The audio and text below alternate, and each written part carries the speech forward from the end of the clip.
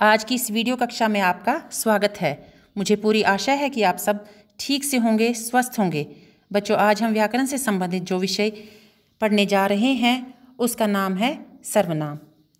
सर्वनाम की परिभाषा इस प्रकार है। संज्ञा के स्थान पर प्रयोग किए जाने वाले शब्द को सर्वनाम कहते हैं, जैसे आप, तू, ये, मैं, वो, कुछ, कोई, आदि। उदाहरण राम खेल कर आया, वो अब पढ़ेगा। राहुल ने अपने दोस्तों से कहा, मैं भी खेलूँगा। इसमें वो और मैं, सर्वनाम है। सर्वनाम के भेद। सर्वनाम के छः भेद हैं।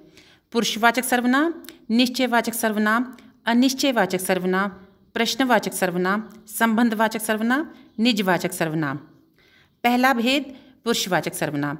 जिस सर्वनाम का प्रयोग बोलने वाले, सुनने वाले या किसी अन्य के लिए होता है, उसे पुरुषवाचक सर्वनाम कहते हैं। जैसे, मैं, तुम, वह आदि। पुरुषवाचक सर्वनाम के तीन भेद हैं। पहला, उत्तम पुरुष। दूसरा, उत्तम पुरुष मीन्स फ़र्स्ट पर्सन मध्यम पुरुष मीन्स सेकंड पर्सन अन्य पुरुष मीन्स थर्ड पर्सन उत्तम पुरुष। जिस सर्वनाम का प्रयोग बोलने वाला या लिखने वाला अपने लिए करता है, उस सर्वनाम को उत्तम पुरुषवाचक सर्वनाम कहते हैं। जैसे, मैं पत्र लिखता हूँ, हम रोज़ स्कूल जाते हैं। इसमें मैं और हम उत्तम पुरुष है।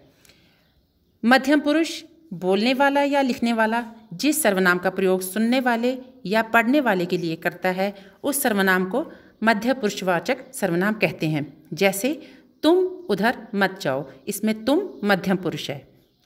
अन्य पुरुष, बोलने वाले या सुनने वाले, अपने या सामने वाले के अलावा अन्य तीसरी व्यक्ति के लिए जिस सर्वनाम का प्रयोग करते हैं, उस सर्वनाम को अन्य पुरुषवाचक सर्वनाम कहते हैं। जैसे, वह फल खाता है, वे लोग दिन भर खेलते हैं। इसमें वह और वे अन्य पुरुषवाचक सर्वनाम है।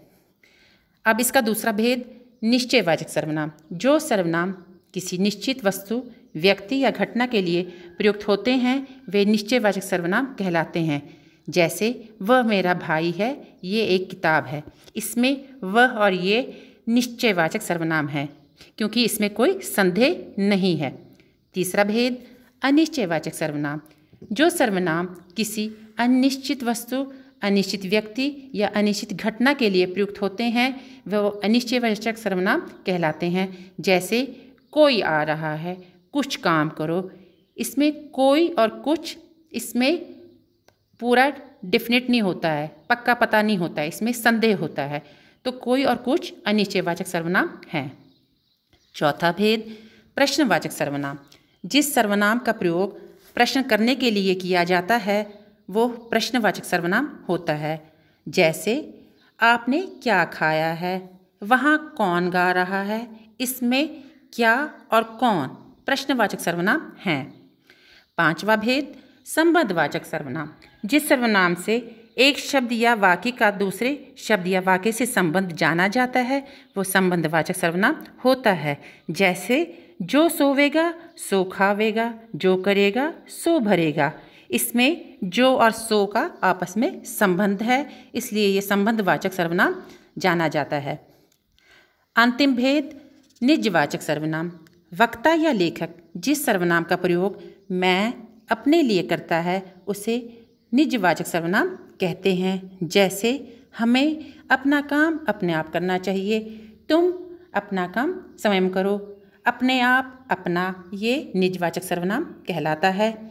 तो बच्चों, मुझे पूरी आशा है कि आपको ये अच्छे से समझ में आ गया होगा। धन्यवाद।